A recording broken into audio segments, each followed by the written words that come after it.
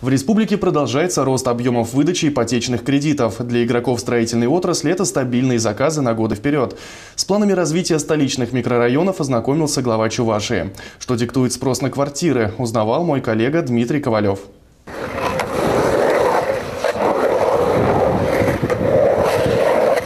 Этот парк облюбовали многие любители экстрима. Оборудованных по всем правилам площадок в столице региона не было. А ведь недавно скейтбординг вошел в программу Олимпиады. Глава республики одобрил идею спортсменов возвести на этом месте специальный купол, чтобы тренироваться зимой. С вопросами к Михаилу Игнатьеву обратились и местные жители. Но для маленьких детей это садики будут, да. Вот мы с большим не можем проблему решить. А, в юго-западный относимся, возим туда по возможности. Ну вот второй год у меня Получается, садик уже не посещает, потому что с маленьким ребенком не могу через весь город по пробкам.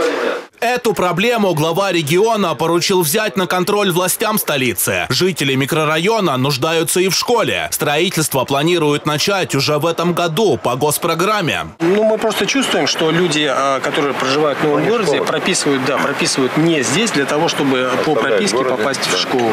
Это стимулирует продажи квартир, тот же, мы все это понимаем, да. Садик тоже, как бы сказать, стимулирует реализацию квартир. Уже это место, оно востребованное. Спрос на квартиры в новом городе определяет и рекультивация Пихтулинской свалки. С 2009 года здесь было введено более 30 домов. Для жителей оборудовали прогулочные бульвары, детские площадки, тренажеры, а скоро запустят и троллейбусную линию. А, проживает порядка пяти с половиной тысяч, то есть у нас в месяц примерно прописывается где-то 110 человек. Рядом Волга, Промышленности нет, экологически чистый воздух, тем более, когда ветер с той стороны, это вообще же замечательно. Впрочем, освещающие рабочий визит главы корреспонденты будни нового города могут описать не понаслышке. И сам район мне нравится. Я приехала, посмотрела, погуляла. Мне понравилось. Это отдельный такой случай. На другом конце города, в микрорайоне Университет, жилые дома возводят за счет кредитов. Этот механизм пришел на смену долевым договорам. По новым правилам банки берут на себя 90% стоимости объекта. В следующем году будем сдавать больше, чем в этом году. Квадратных метров, если взять сколько? Квадратных метров взять в этом году получается у нас 25, а в следующем году больше 40 получается. То проектное финансирование это как контракт жизненного цикла имеется в виду, хотя это коммерческий договор. Э, условия да. какие там? Мы открываем э, проектное финансирование. Значит, банк нас э, открывает значит, кредитную линию.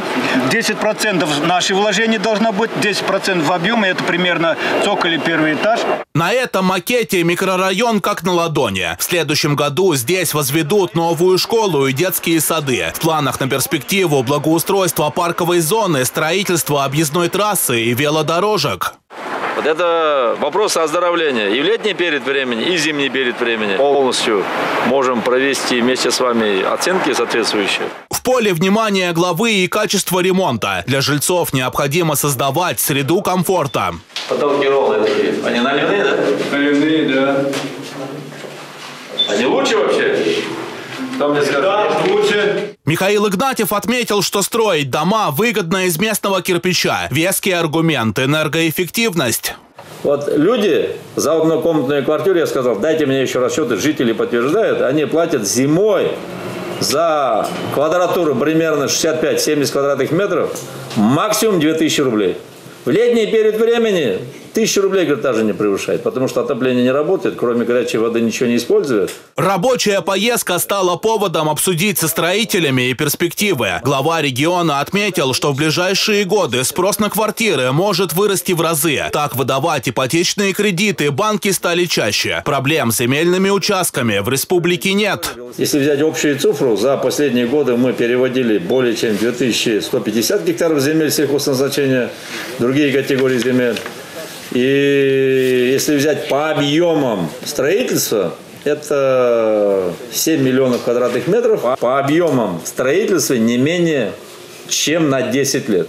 По долевым договорам в республике сейчас возводят более 170 объектов. Ущемлять права дольщиков недопустимо. За срыв графика ввода дома последуют жесткие санкции, отметил глава региона. Дмитрий Ковалев и Бахтияр Велиев. Республика.